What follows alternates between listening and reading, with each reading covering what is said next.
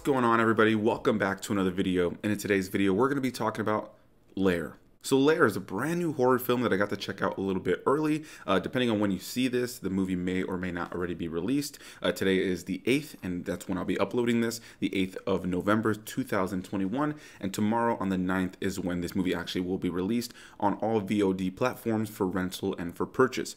If you could check out that poster right there next to me, you can see that it's got a cool 80s vibe, very 80s aesthetic in terms of its poster, and almost has a Nightmare on Elm Street kind of feel and vibe. And so, right out of the gate, I was really interested in this movie when I was sent the screener because of the poster alone. And once the movie started and I started to see people like oh Oded Fehr, I believe that's how you pronounce his name, as well as Corey Johnson, I was like, okay, we got some familiar faces in here. It seems like something that's going to be pretty solid. But I have to be honest and start this off by saying that this is not a film that I can recommend to my viewers, and it's a film that kind of bored me. Now, I have talked to a couple of my other peers who have seen this movie who are also going to be dropping early reviews for it, and a lot of them seem to actually really enjoy the film, but it seems to be a mixed bag. For me, this was just a very generic horror story, and a lot of times you can take that kind of basic premise and make an entertaining movie, but ultimately this movie was kind of boring. This film was directed by Adam Ethan Crow, who is not a director I'm familiar with at all. Uh, but yeah, you know, I'll start off by saying I enjoyed the way that he chose to direct this film in terms of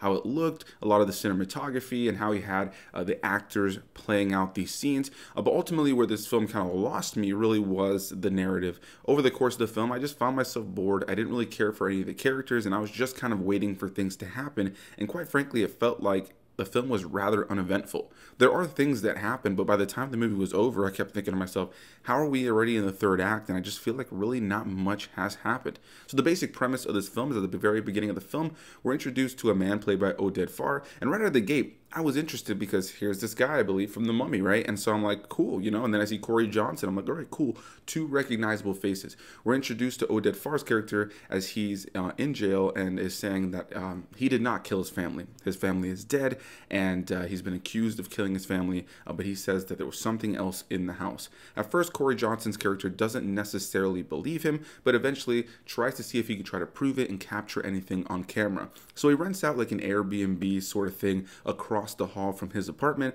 where he has a whole camera and monitor setup that is connected to cameras that's in that Airbnb. And so he rents out this apartment to this uh, young family of women.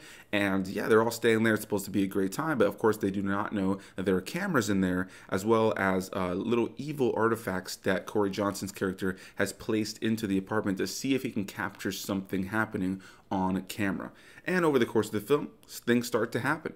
So in a lot of ways, this is a pretty generic, uh, you know, supernatural ghost demon in the house kind of movie, but there is something different about it, especially with how they wrap it up. I feel like they were trying to go with something very clever, but ultimately, while watching it, I was pretty bored. I kind of pride myself on being somebody that if I ever feel like tired, maybe I started a movie a little too late or whatever the case may be, maybe I'll just pause it right there, pick it up later on so I can keep up with what's going on, or restart the movie. Especially when I'm sent to screener, I don't ever really like to um, watch it in pieces because I want to be able to give the, the most genuine review as I possibly can. And so I watched this all in one sitting, but I'm not gonna lie, my eyes were heavy while watching this, and I was completely fine as soon as the movie was over. So it wasn't even a situation where I was like really sleepy and I started watching the movie. As soon as the movie was over, I was up and at 'em and I was watching other things. And yeah, you know, ultimately, I just kind of found this film to be a bit dull, a little bit boring, and just a little bit uneventful. So I'm gonna make this a really quick review by saying this isn't a movie that I necessarily recommend for everybody, but if you're interested in checking it out, like I said, starting tomorrow on the 9th, or if you've already seen this days later,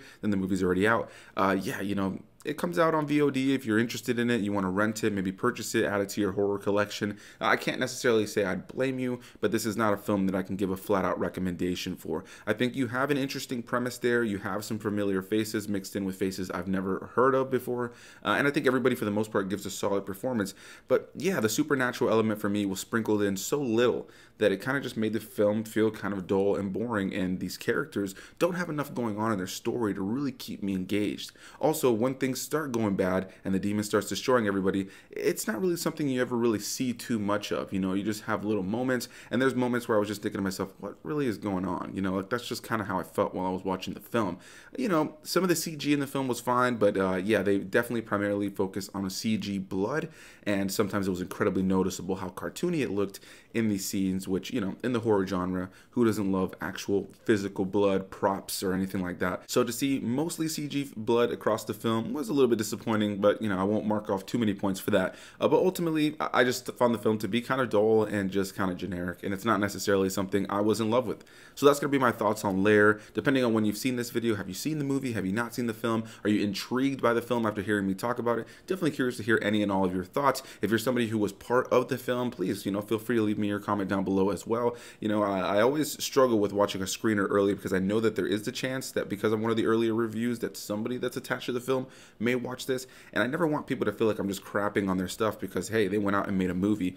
Uh, yeah, but ultimately this just didn't work for me. And I just have to be honest and uh, kind of maintain the integrity of my reviews here on the channel. So that's my thoughts on Lair. Can't wait to hear what you guys have to say, and I'll see you guys in the next one. Bye-bye.